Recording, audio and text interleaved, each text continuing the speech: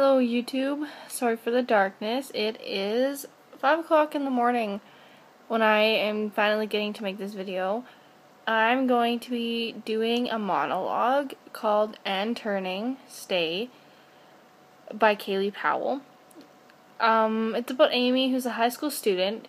She confronts Mark, a close friend who let her on and let her down.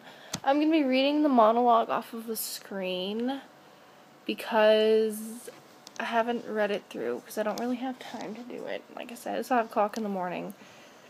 Okay. This is Amy.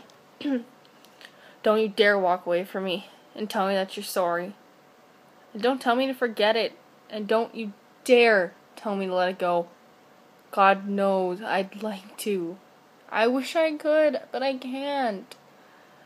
I can't forget that we had something and that you're running away. You're running away. Don't you see, Mark?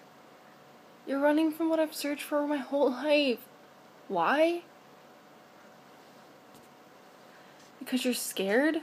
Well, I'm scared too, but you and I, we have something worth fighting for. We could make it work, and I'm not saying that it would be easy, but I care about you. And I know deep down, under this bravado, you care about me. And that's all, that's what it's about, Mark. Don't you get it? It's a human experience. You can't pretend, you can pretend all you want, but you're only lying to yourself.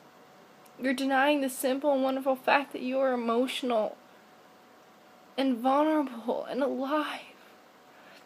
Can you honestly stand there and tell me that I mean nothing to you? That everything that happened that night was a lie?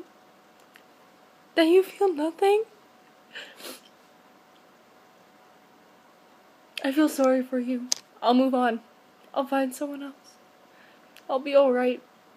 Because I know that I tried.